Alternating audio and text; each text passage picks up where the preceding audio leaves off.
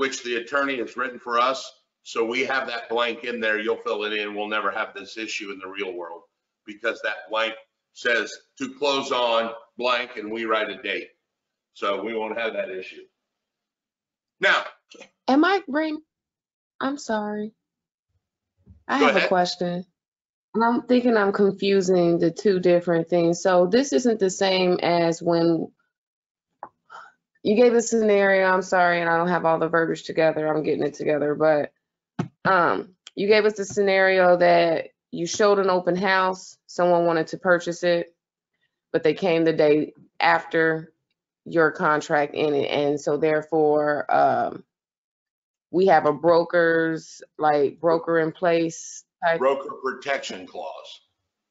broker protection clause. So with, so with a broker protection clause, am I confusing the two? Like, would you still be able to use your broker protection if your client that's the buyers is like three days behind and the bank, something happened, and so now he still wants to purchase or whatever? No, the broker protection clause protects you after the contract has legally ended. The time of, of the essence is the duration of the contract. So like if I list a house in January 1, I'm going to list it to July 1. Right, And we explain that in our contract, start date, stop date. The right, broker protection clause protects me after the contract has expired. Whereas okay, of the essence deals with the expiration of the contract, of the contract. of the contract. So we've got a listing contract, that would be time is of the essence in this contract. And then the protection clauses after the contract expires. Okay. We have no protection clause in a purchase agreement. Once it uh-huh. expires on the May the 30th at midnight, it auto, it expires and there's no protection after expiration, okay, all right? So time is of the essence is the definition timeframe stated for a contract. The broker protection clause is specific to real estate, which deals with protecting our agency after the contract has expired.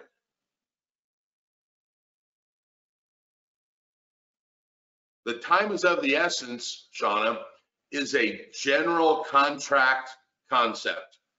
All contracts work under that. Must have that in there. All right? Broker protection is only specific to agency law and a listing contract specifically. There is no protection in the purchase agreement. There's no protection in a deed. It's only specific term inside of our listing contract, which protects us after time is of the essence has expired. All right? Now, here's the cool thing about a contract. As long as it fits all five parts, so let's assume that's true. You guys can do anything you agree on in a contract, as long as it fits all five parts. Which means you can change the terms of the contract. You want to lower your Visa rate to 1%? Call Visa. Hey, I want to lower my rate from 12% to 1%.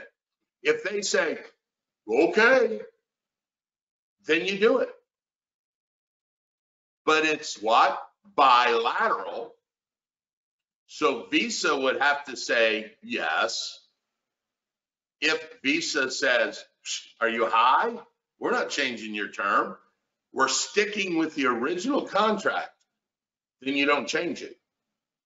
So we, as real estate professionals, will change a contract all of the time for our buyers and sellers. Most commonly, we change closing date. Hey, we're, remember, time is of the essence, May the 30th. We agree on it. Come May the 29th, I call you and go, hey, dude, we got a problem. My seller is in Hawaii golfing and you go, yeah, guess what? He's golfing with my buyer, so my buyer's in Hawaii too. Oh, let's change the closing date from May the 30th to July the 10th. Okay.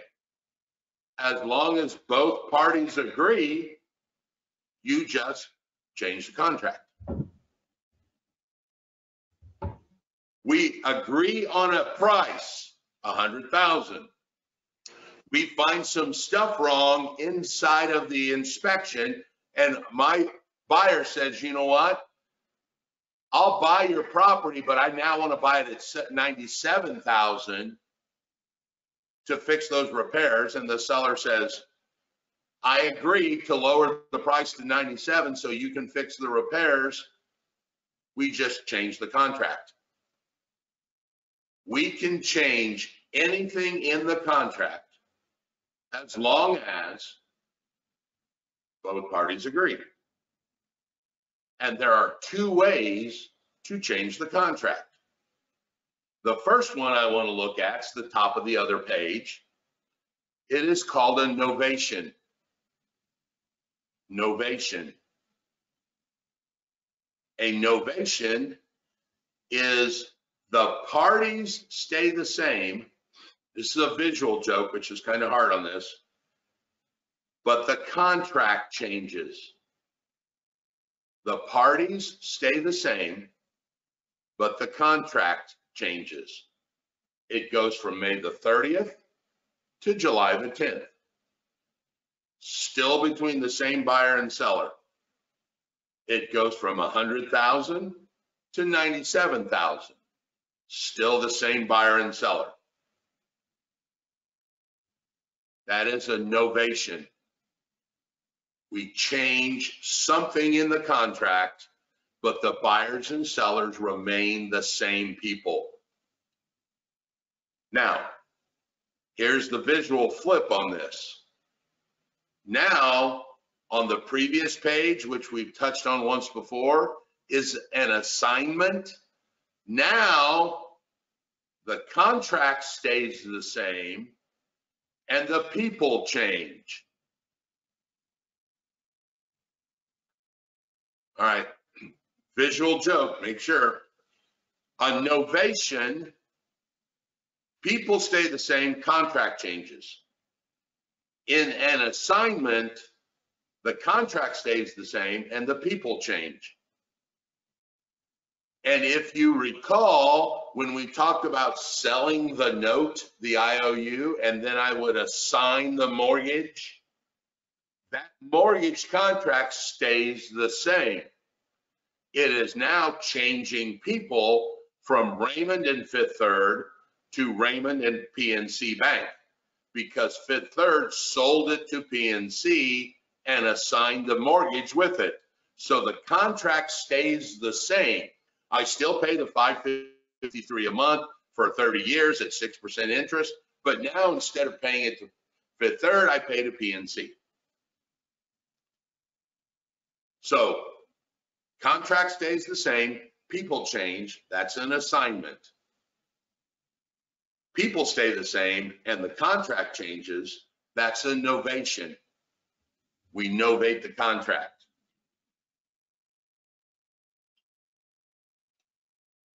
Thumbs up? All right. Now, occasionally, there's going to be what they call a breach of contract. A breach of contract is where one of the parties fails to perform something that they are required to do inside of the contract. All right. They fail to do it, like buy the property. They were offered you, you went under contract, they didn't buy the property like they were supposed to, they can actually be sued for what's called specific performance.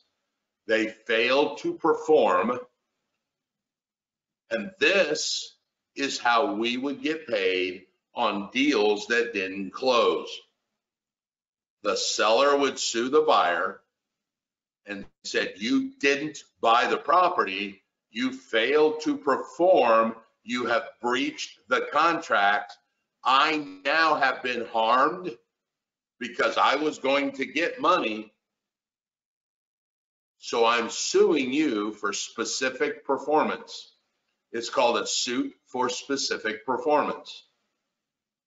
It is a lawsuit and the judge will then render a judgment.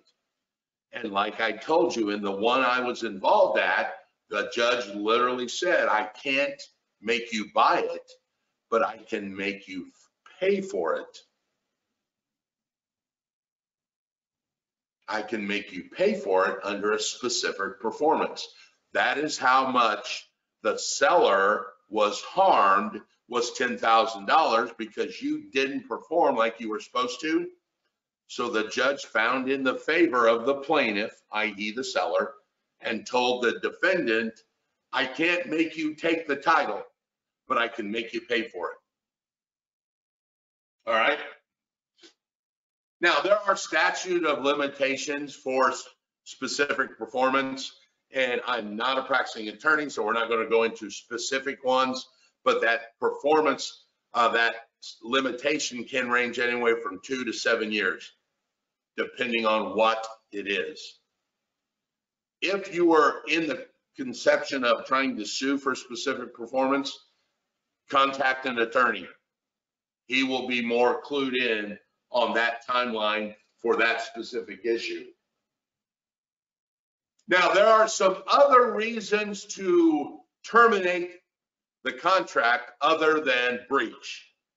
So on your page there at uh, 193, there's a whole bunch of different ones we can talk about. A couple of them like partial performance, substantial performance. Uh, One of the good examples you will see is this. In a new home sale, brand new home, the builder will agree to sod the front yard, right? We all understand what sod is. They cannot sod in January.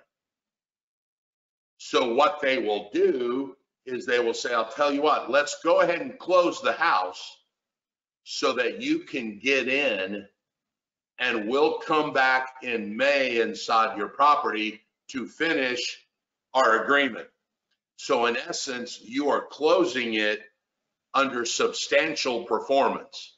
They haven't performed hundred percent because they can't lay sod in January, but you're going to go ahead and close knowing that the full performance will be committed later. So partial or substantial, virtually the same concept.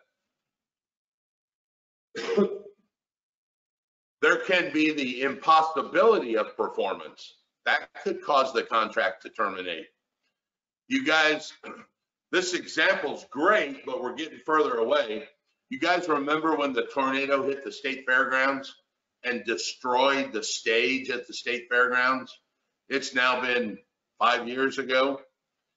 All of the bands that were scheduled to perform on that stage got released from their contract because there was no stage.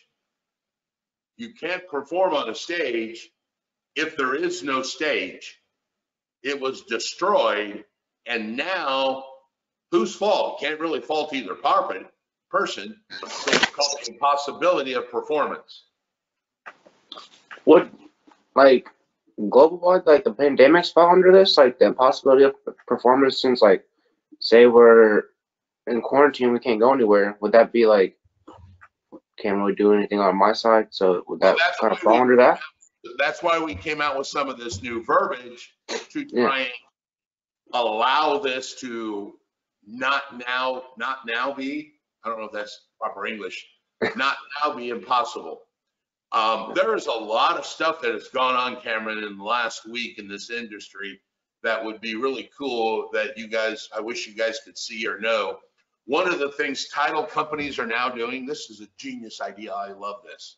In order to combat what you're saying, they are now doing what they call curbside closings. Curbside closings. instead of literally going into the office and sitting across from the table, what they're doing now is a car will pull up at their parking lot and they will send one person out.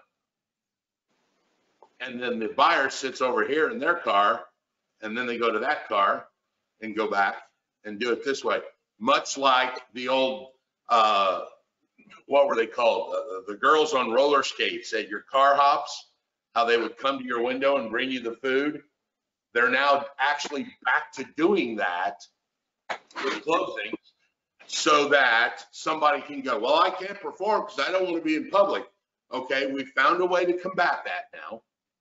We're doing these curbside closings. Now, you could argue, well, I still got to talk to that one person. So what I'm telling you now, mark my words, write this down. Raymond said this, and I think I've said it before. The next evolution of this is this. I'm, we're literally going to close like this. Now, I don't need to drive to Greenwood. I don't need to touch you, see you, breathe on you, or let you do that to me. I can stare in your eyes and see that you're the buyer and you- I'm the seller, and we're gonna sign. And then I'm gonna hit print on my printer, it's gonna print my copy up at my house, and you're gonna be sitting wherever you're at, Cameron. You're gonna hit print on your printer, and it's all gonna print on yours, and thank you very much, have a good day. And you're gonna wire the money in, and, and the- when they close, they're gonna wire me the money to my bank. It will be here specifically now because of this pandemic issue, that there are going to be people that are gonna go, let's go to the next evolution of car hop into virtual closings. All right? So the impossibility deals with, in the scenario that I gave, up until now because of this uh, pandemic thing, is the stage because there is no stage. You could argue at some point that even if you're afraid to go out, technology now has made it so that you could potentially not still perform without going out under this kind of technology we're using. We'll be Uh, doing listings like this too, Raymond. Do what? Like showings, we'll be doing like showings in this type of form. There are agents right now that are doing virtual showings. Yeah, And they're doing it much like this on a mobile phone where they're talking to their client and they're like walking through and then the client will go, hey, back up. I want to look at the stove again. Okay. And they show them the stove. Is there anything else you want to see? Yeah, what's the brand? Okay, well, hold on, I can get real close. So yeah, there are agents now that are, the agents are still going into the house because we are deemed, and don't get me on my soapbox on this, we are deemed, um, what, what's the term? Where we're exempt? Essential. essential. We're deemed essential. So we have been taking precautions like the, uh, Josh, for instance, wears the latex gloves everywhere he goes and then takes them off and puts them, throws them in the back of his truck for that showing. So he will go in and he is taking the risk, but we are mitigating it with, you know, sanitizers and gloves and face masks and all of that. And the client is sitting at home and Josh literally is directed by the client as to what to look at. All right. So yes, there are virtual showings that are going on currently. So that's going, so this, like I said, this issue that has arisen has forced a lot of technology up to bubble up to the top that you're going to see is going to become standard practice. And this might be one of the standards of practice that we do this kind of virtual showing. The thing that may suck for virtual showings for us, think about this. How many showings could a client have if they hired every one of us to do a virtual showing. I could look at Sarah's phone and five minutes later be looking at Christina's and then five minutes later looking at Shauna's and then five. So in theory, I could see eight houses in half an hour because I've got you standing at one, you standing at one, you standing at one, you standing at one. That would suck for us because now we're competing against five or six other agents showing properties. But I mean, I can see that as being a, a, a logical way. A buyer can now see dozens of properties in a matter of two hours sitting at home wearing just a shirt and underwear. Not that I'm doing that.